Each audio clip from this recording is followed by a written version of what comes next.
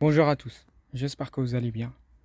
Donc je vous retrouve aujourd'hui euh, pour une petite euh, tutoriel pour vous montrer euh, comment on change, là je vais zoomer, comment on change l'intervalle de révision.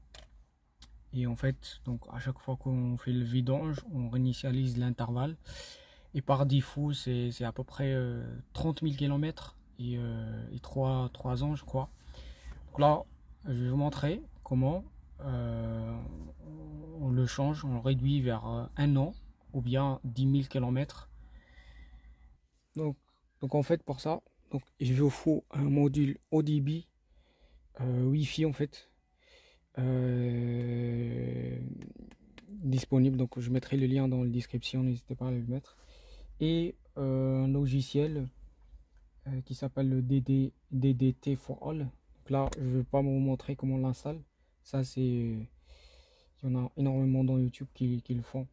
Donc, euh, pour commencer, il faut brancher le module ODB dans la partie. Donc là, moi, j'ai le ODB qui est là. là, on voit que je viens de se connecter. On met la voiture en mode diagnostic. Et là, on va essayer de se connecter en Bluetooth à notre euh.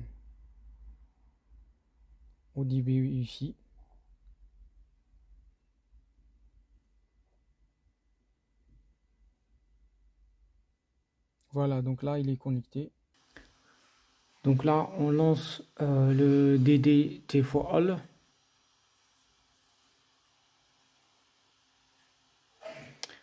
On va choisir un modèle Wi-Fi mode connecté. Ah oui, il faut cocher qu'on est bien conscient de ce qu'on fait.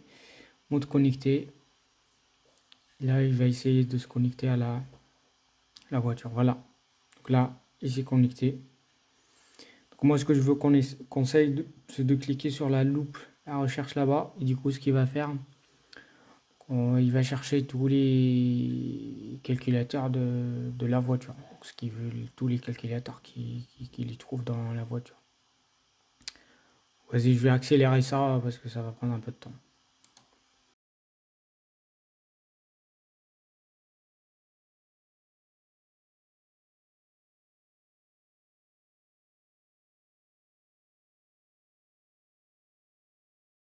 Voilà. Donc là, on va prendre le cluster B95.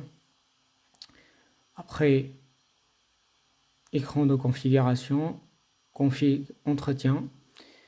Donc là, la première valeur qu'on va modifier, c'est les valeurs initiales en kilomètres. Donc on va le mettre à 10 000. Là, on va changer les valeurs de jour aussi.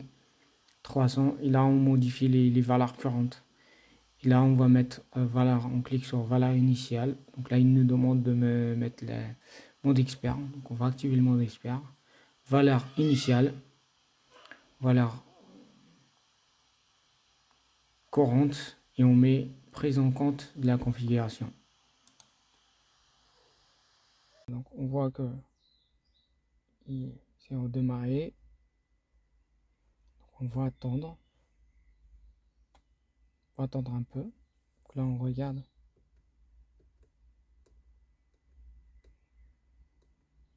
Est-ce qu'il a pris en compte Là, on est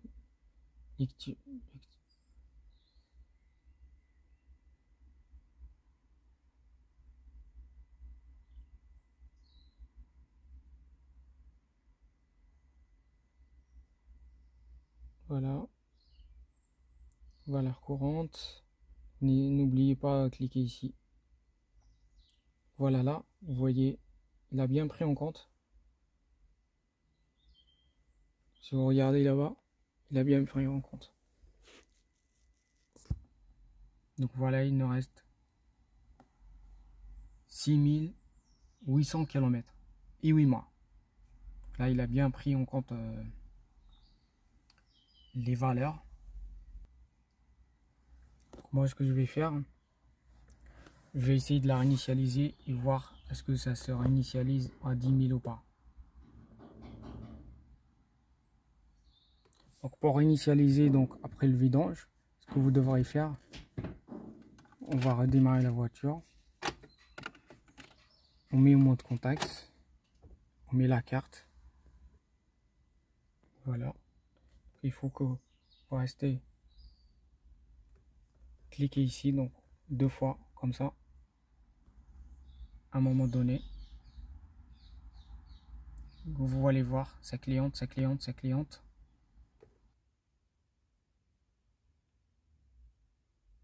Voilà.